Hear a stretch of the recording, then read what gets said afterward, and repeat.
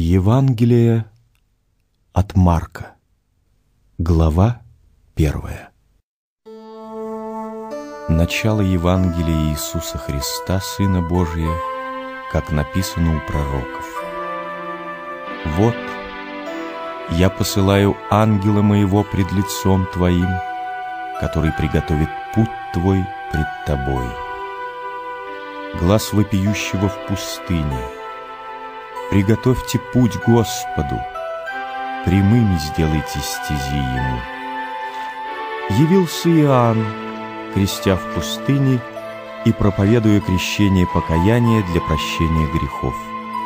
И выходили к нему вся страна иудейская, и иерусалимляне, и крестились от него все в реке Иордании, исповедуя грехи свои. Иоанн же носил одежду из верблюжьего волоса, и пояс кожаный на чреслах своих, и ел акриды и дикий мир. И проповедовал, говоря, «Идет за мною сильнейший меня, у которого я недостоин, наклонившись, развязать ремень обуви его.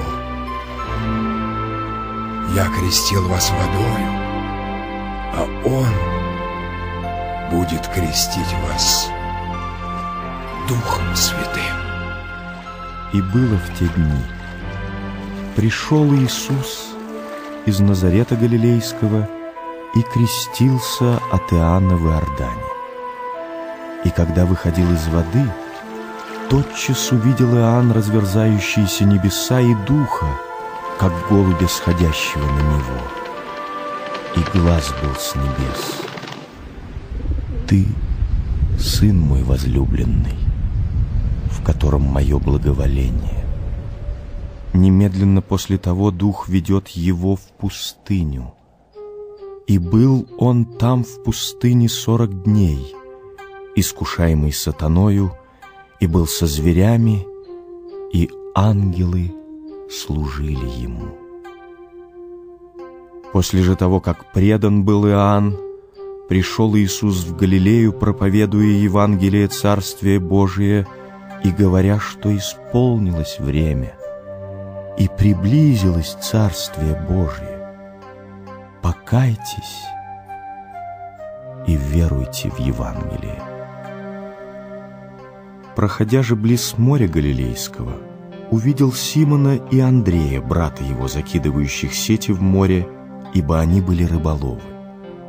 И сказал им Иисус, «Идите за Мною, и я сделаю, что вы будете ловцами человеков». И они, тотчас оставив свои сети, последовали за Ним.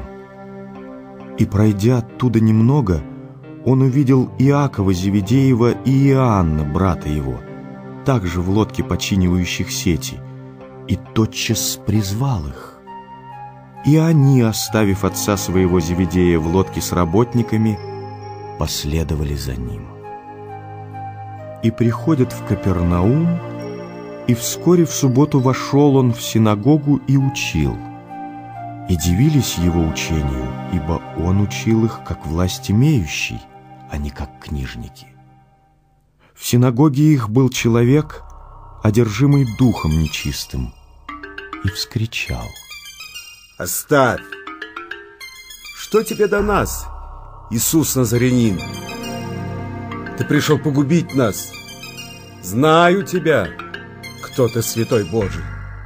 Но Иисус запретил ему, говоря, «Замолчи и выйди из него».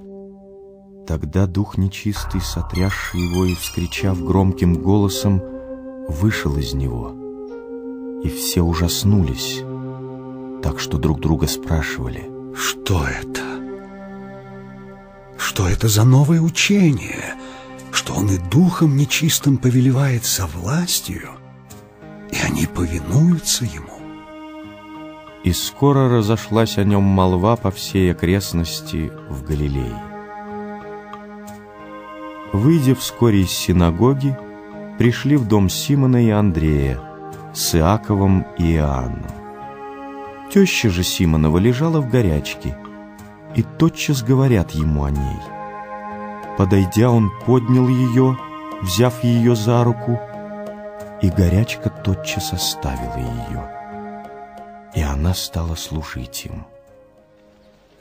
При наступлении же вечера, когда заходило солнце, приносили к нему всех больных и бесноватых, и весь город собрался к дверям.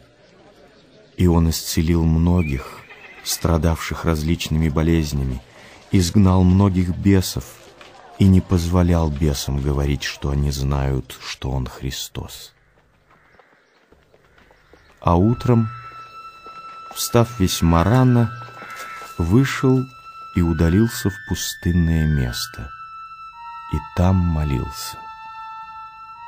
Симоны, бывшие с ним, пошли за ним, и, найдя его, говорят ему, «Все ищут тебя».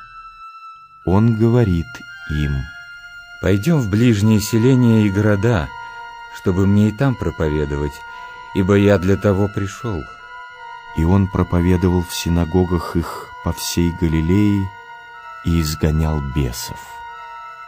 Приходит к нему прокаженный и, умоляя его и падая перед ним на колени, говорит ему, «Если хочешь, можешь меня очистить». Иисус, умилосердившись над ним, простер руку, коснулся его и сказал ему, «Хочу, очистись». После сего слова проказа тотчас сошла с него, и он стал чист. И, посмотрев на него строго, тотчас отослал его и сказал ему, «Смотри, никому ничего не говори, но пойди покажись священнику и принеси за очищение твое, что повелел Моисей, во свидетельство им».